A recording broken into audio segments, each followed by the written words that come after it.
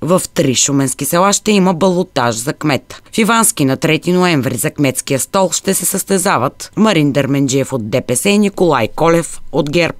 В село Мадара Марин Маринов от ГЕРБ се изправя срещу кандидата на партия Воля Неделчо Неделчев.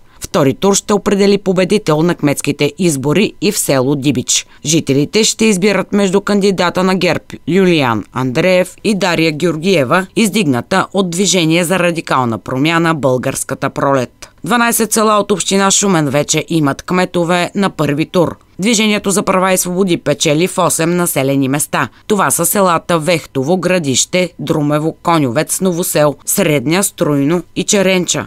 В Царев Брод и Мараш победа на първи тур завоюват кандидатите на коалиция БСП за България. В Салманово нов мандат печели Йордан Киров от ГЕРБ.